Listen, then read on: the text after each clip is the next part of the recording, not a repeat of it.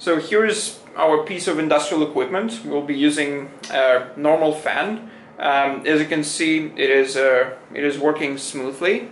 Let's start it. And uh, let's put this accelerometer on top of that fan.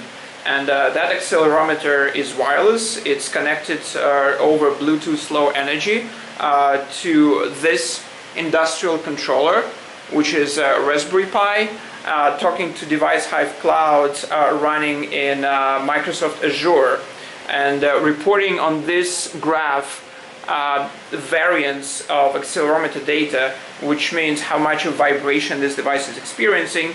You could actually see it's experiencing very little vibration. So uh, now let's imagine a part of a blade chipped off and the device goes off balance.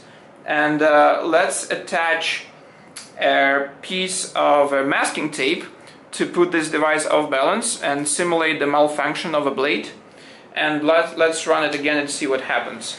So as we run it again we can see that the variance of vibration is really high and uh, we can clearly see that as an indicator of equipment malfunctioning. So using that data uh, reported into Azure Cloud uh, we can dispatch maintenance personnel on site to check out the equipment.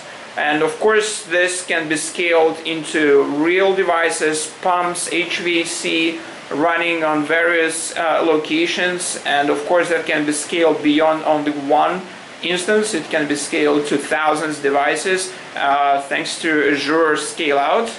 And uh, check out our demo at Microsoft Build. Uh, check out DeviceHive and uh, let's talk next week. Bye bye.